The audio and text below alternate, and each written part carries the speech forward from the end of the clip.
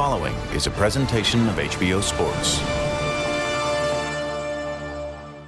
Tonight, we want to revisit a story we first brought you last year about a then little known American League relief pitcher named Steve Delabar, a guy who'd had perhaps the most unusual path to the major leagues of anyone in the game. Well, this season, Delabar's improbable tale added a new chapter, one that made his rags to riches story even more remarkable. Our Mary Carillo has the update.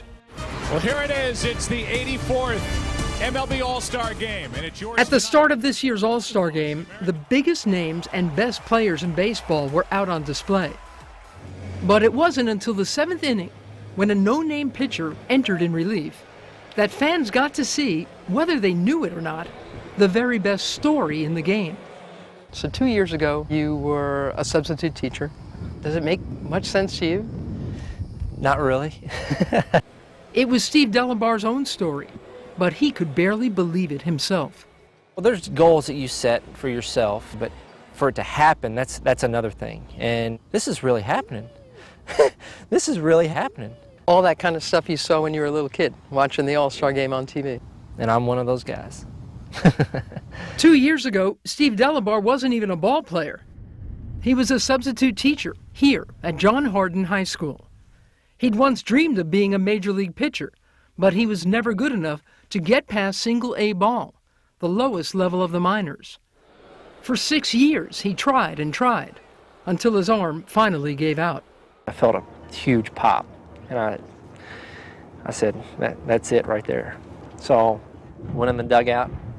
It, it seemed like there was an alien coming out of my arm. Delabar's arm was broken so badly, doctors needed a metal plate and nine screws to repair the damage. His big league prospects went from one in a million to zero. Now a washed up ex jock pushing 30, it was time to find himself a new life.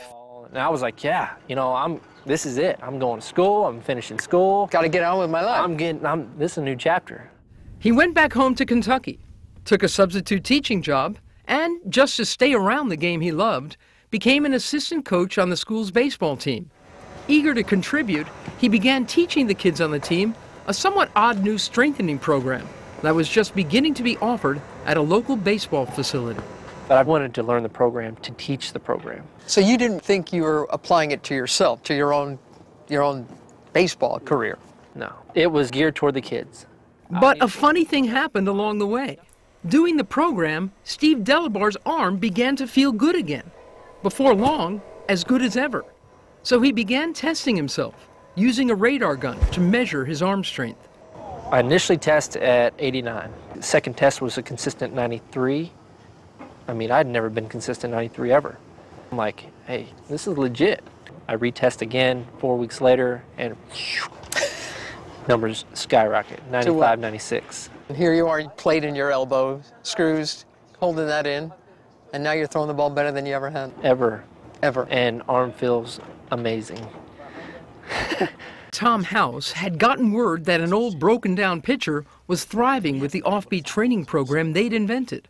A program based on the use of weighted balls, ranging from two pounds to two ounces. Six ounce, guys. Six ounce, please. House is a former major league pitcher and coach who has long been considered one of the game's most innovative teachers. The football is a real good device to help maintain strength and keep mechanics sound.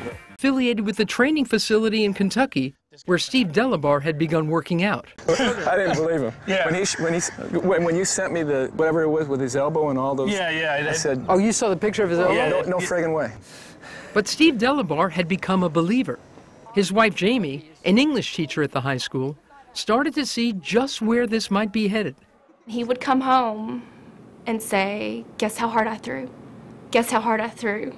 And I would just say, Oh, that's great. You know, that's awesome how hard you threw. And I never said anything, but I knew that he wanted to go back.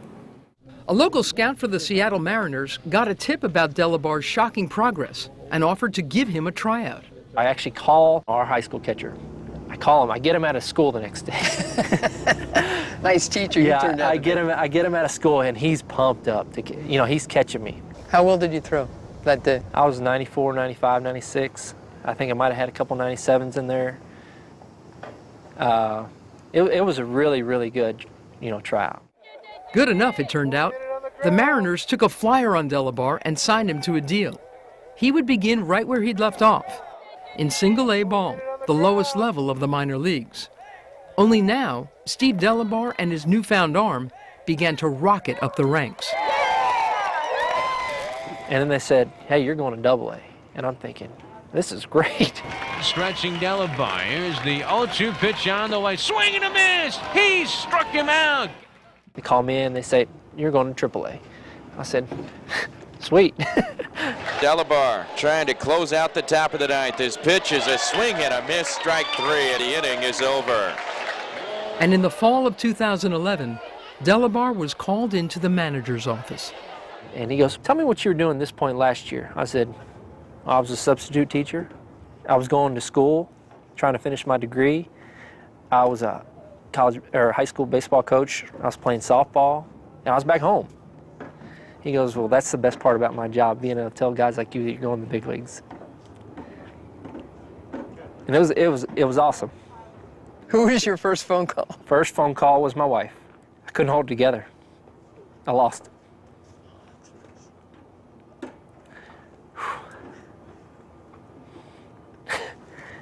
I don't think it changes any time I tell the story. So I called her and I said, I'm going to big leagues. And she said, you know, she was so excited. She started crying. And then I called my dad. I lost it there too. And then I, I mean, I probably cried all night. As Delabar's family and friends in Kentucky tried to process what was happening, Give me a 95, Anthony. the men who'd rebuilt him, Tom House, were trying to figure out if Delabar's success was a fluke or whether their little experiment might actually be working. 96. By this point, they'd spread the gospel of the new program to hundreds of kids at a few different facilities around the country. And they kept hearing the same thing. Everybody's fastball, male, female, young, old, everybody's fastball gets better, and they're healthier. But why? What made this program different from all the others? Baseball coaches have been tinkering with weighted balls for decades. Arm speed, guys, arm speed. House himself had been trying to solve the riddle of keeping pitchers healthy for more than 30 years, but says his big breakthrough happened by accident. One day, here at USC about three years ago, House was studying, of all things, my sport, tennis. Now, I stole something from tennis. Fleecing my sport? Without a doubt. We figured out that tennis players very seldom have bad shoulders. Bad elbows, but very seldom bad shoulders. Why? Because they hang on to the racket. The physical act of serving a, a, a tennis, a tennis ball and pitching a ball are very similar. So I'm thinking, okay, why are these guys healthy and our guys are not? Because they hang on to the racket. So instead of just throwing various weighted balls, House designed exercises where players also hold on to the balls. Throws, House explained, work the front side of the shoulder. Holds work the back of the shoulder. The result, they said, is a stronger and healthier shoulder because it is more balanced. The kicker? Velocity goes up. By the time Steve Delabar arrived in Seattle as a 28 year old rookie, he was armed with one of the better fastballs in the league, even if nobody knew. Steve Delabar will take over in relief, and he makes his major league debut this afternoon. I'm excited, heart starts racing. I mean, it's pumping. I don't hear anything. I don't, I don't see it. I mean, I'm locked in. Delabar's first pitch of the big leagues, a swing and a foul. He's got a plate in his elbow and nine screws. He showed me the x-rays look like a Home Depot project. Fly ball into right center field. So I get the first guy out. That first out is big. Well, the next guy comes up, and I get a, I get a strike. You know, I strike him out. Fastball, swing and a miss, strike three. 96 mile an hour fastball. So two up and two down. No wonder the Mariners signed this guy. And the 0-2. Swing and a miss, strike three. I had 50 text messages and everybody from back home just, I mean, jumping up and down and excited. And it, it was, it was a pretty good, you know, pretty awesome feeling. As Delabar adjusted to the big leagues, his wife Jamie was still trying to wrap her head around her husband's new job. I'm like, that is my husband on ESPN. And I, I just, it's, I couldn't believe it. So he goes from being a substitute teacher Yeah. It doesn't even sound like a real story. No, it doesn't. And it doesn't even I- feel real. I mean, when we when people ask us, it doesn't feel real.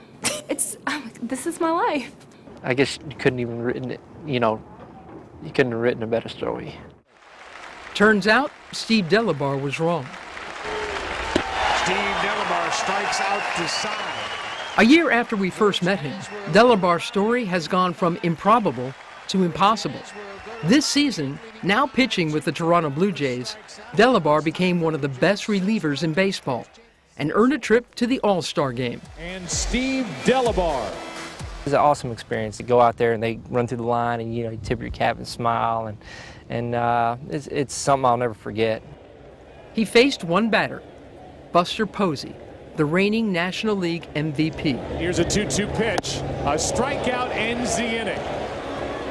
Well, what did you expect from a fairy tale? Quicker, David, quicker. Come on, go, go, go.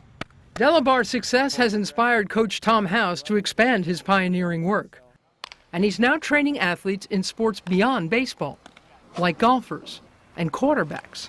10 more seconds. Giddy up, giddy up.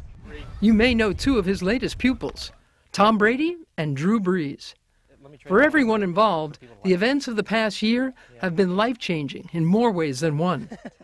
Two years ago, you had the salary of a substitute teacher. I'm in a different tax bracket. A very different tax bracket? very, very different tax bracket. Yeah.